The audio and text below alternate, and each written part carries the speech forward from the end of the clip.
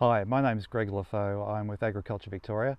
I'm the project leader for the PIPS 3 Integrated Pest and Disease Management Program and I'm here in the Tatura Smart Farm Pear Orchard. Uh, we're looking at a conservation biocontrol project that we're undertaking here at TAT. And this is just one of the locations. We have locations around the country. Um, another site is at the University of Tasmania down in Tassie. But um, today in this site we're looking at monitoring techniques. So in these plots, we're looking at different inter-row vegetation covers and we're particularly focusing on whether we can put native species back, impact that would have on, say, beneficial insects and on pest populations as well. We'll also look at soil health and yield. Um, but today we're monitoring pests and beneficials and we're using a variety of techniques to get a, a good understanding of the populations over time.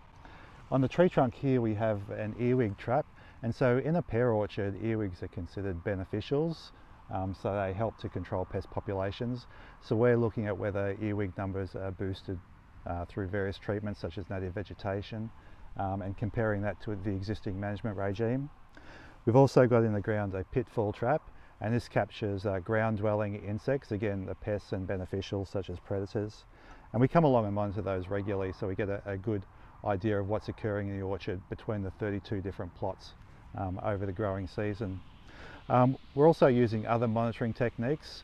So there are monitoring, monitoring techniques developed by Agriculture Victoria which um, involve counts of pests and beneficials on the foliage throughout the growing season.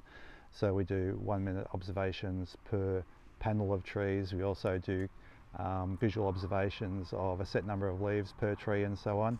And uh, very soon we'll be starting our sweep netting of the interrow vegetation.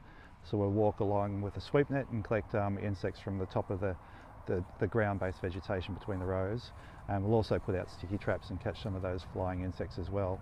This all creates a picture of what's happening between the treatments. And so we're looking at differences between pest populations between treatments and the number of beneficials between treatments, and then what that means for yield and fruit damage.